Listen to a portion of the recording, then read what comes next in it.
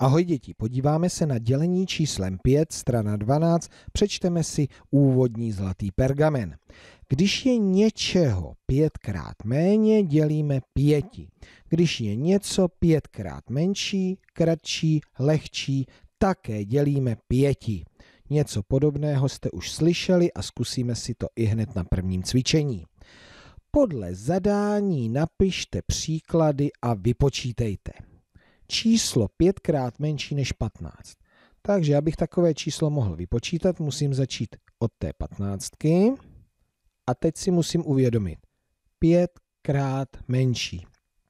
Krát menší dělím, pětkrát menší dělím pěti. 15 děleno 5 rovná se 3. Číslo opět menší než 15 musím začít od té patnáctky, protože s ní porovnávám 15 o menší minus 5 rovná se 10. Takže co jsem zjistil? Že trojka je pětkrát menší číslo než 15, desítka je opět menší než 15. Zkusím něco z druhého sloupečku. Číslo pětkrát menší než 10, tak raďte. 10 krát.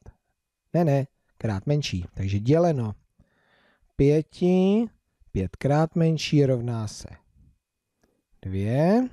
Číslo opět menší než 10, 10 minus 5 rovná se 5.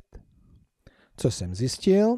Že číslo 2 je pětkrát menší než 10, 5 je opět menší než 10. Na co je tady to cvičení? No, asi na to, abych si důkladně uvědomil, jaký je rozdíl mezi krát méně a o méně.